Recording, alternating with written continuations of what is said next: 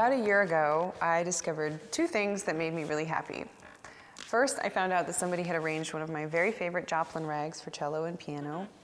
And second, I discovered a company called Coruss that makes a synthetic bow hair that I really like.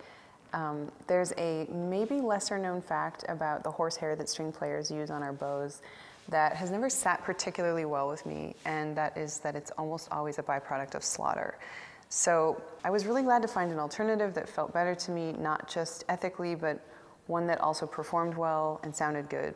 Um, so for me, it was sort of an intersection of these two things that I really care about. Um, on one hand, being a good cellist, and on the other hand, reducing my dependency on animal products in any way that I possibly can.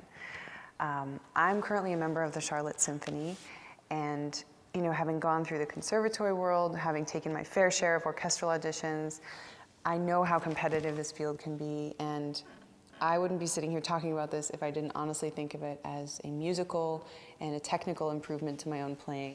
I was interviewed this past year by the Strad magazine in an article they did on synthetic bow hair. And I know that in this industry there's a fair amount of resistance to change. You know, this is the world of classical music. We really love our traditions.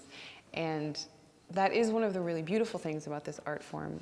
But as I talked about in the article, I do think it's encouraging to see people gradually starting to adopt more ethical and more sustainable alternatives to some of these older materials we've been using um, as our technology advances and allows us to perfect them. My experience with Coruss hair has really surprised me.